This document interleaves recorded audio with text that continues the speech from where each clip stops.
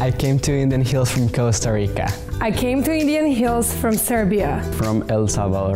From Sri Lanka. From Ecuador. I'm going to transfer to Iowa State University and major in industrial engineering. To the University of Iowa, major in economics. To the University of Missouri and play Division One golf.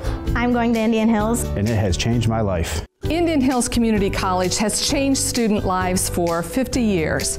You can begin your life changing journey with us right now.